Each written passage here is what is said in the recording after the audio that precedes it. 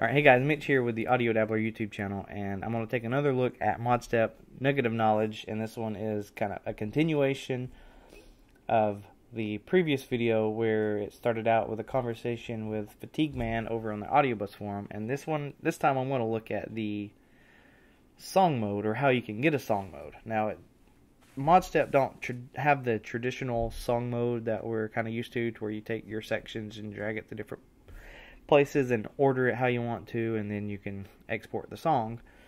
This has more of a kind of a top-down approach, or in this, or more of a live uh, situation. And so, if you if you want to do it more live, then you can hit the um, record button down here, and you can hit the record up top, and then you can just play this live, trigger whatever you want to, and it's going to just sum everything up into a single track I haven't played with as far as if it will sum up different. I think it will sum up different tracks and the master. And so you can kind of individually export different tracks as you record it. Um, but if you're wanting to get kind of like a more of a standard kind of song mode, then you can do that. Um, so if you click and hold, you get these options on the clips or patterns or these are clips and then these each clip can have 16 patterns. We see this number of loops. You can change that from the double zero, which is infinite, to one, two, up to. I'm not sure if it has a max value, but you can do a lot of loops.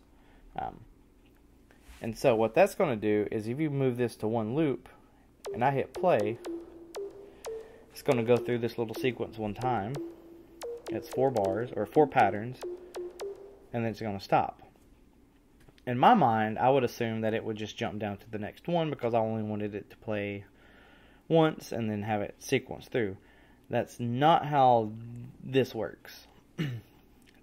but you can get it to do that if you go over here to this side and you click and hold.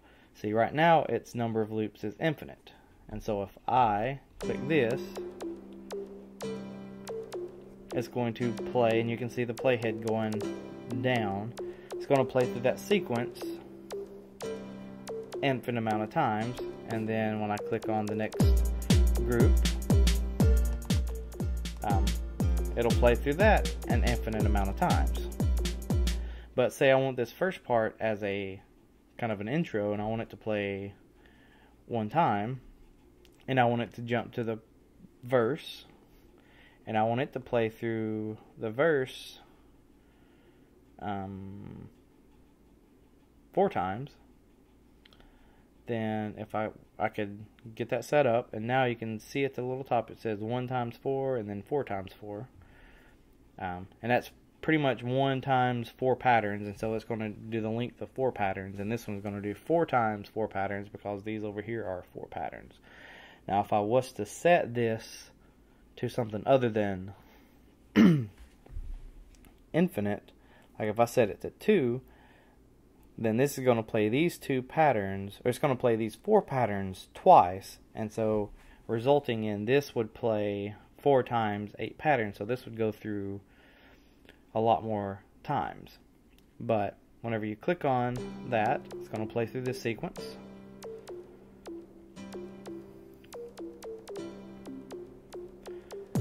And then it'll play through this four times and you can see the playhead going down. And it'll count down each time. So we'll watch it until it gets to three.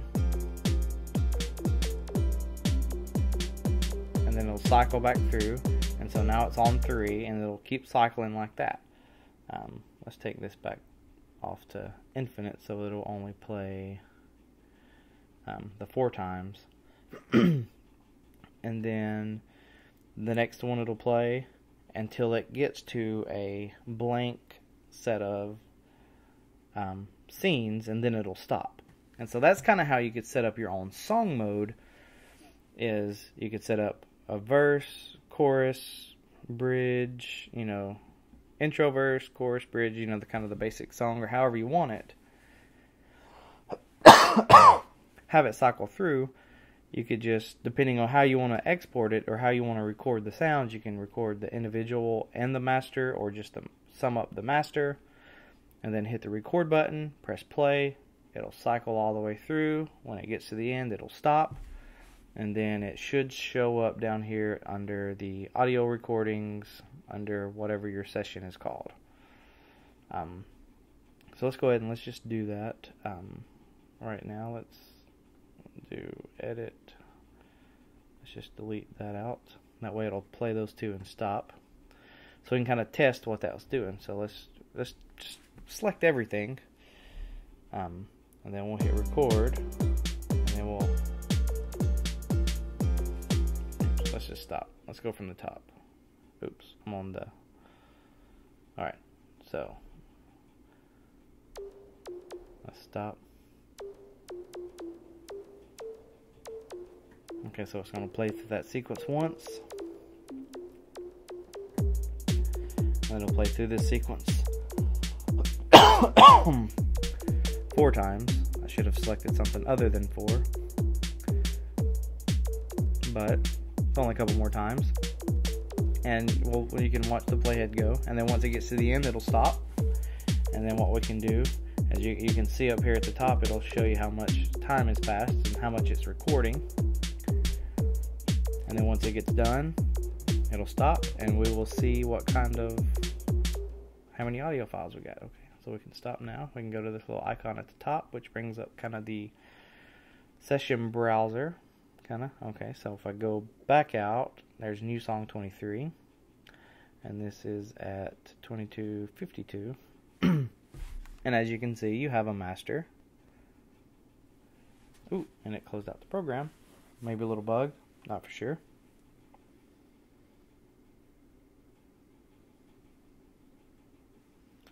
But anyway, so we can go back here and you can see that we have the three tracks and the audio for the tracks and then we have a master.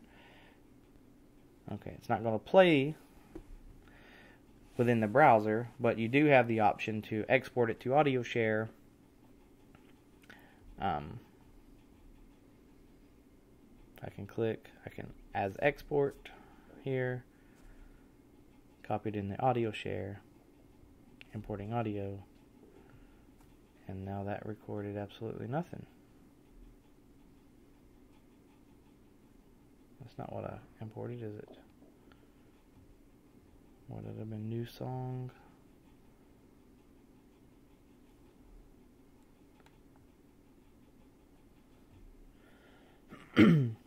master.wave. I guess this is as close to live as you'll get.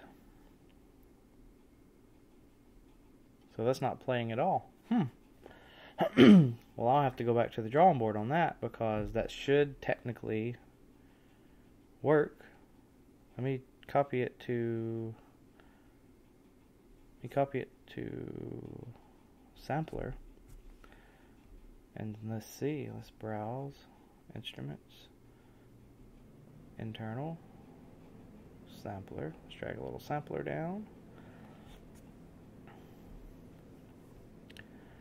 Back to stock, sample, imported, master. Oh, alright. So we have some issues there. In theory, it should work. I'm not for sure what problem is, I will definitely, um, I'll still post this video, but I will definitely send a link to the, make sure I link this to the developer and make sure that he is aware of this. Maybe it could be something to do with the apps that I had loaded up. Maybe it didn't like the inter app audio. Um, that one didn't work either, did it? No. And if it's not working there, it's probably not going to work with sampler. Let's try one more. It's gonna it's gonna be a bugger. Yep. Okay, that's what I thought. All right. Anyways, um, that's kind of how you could.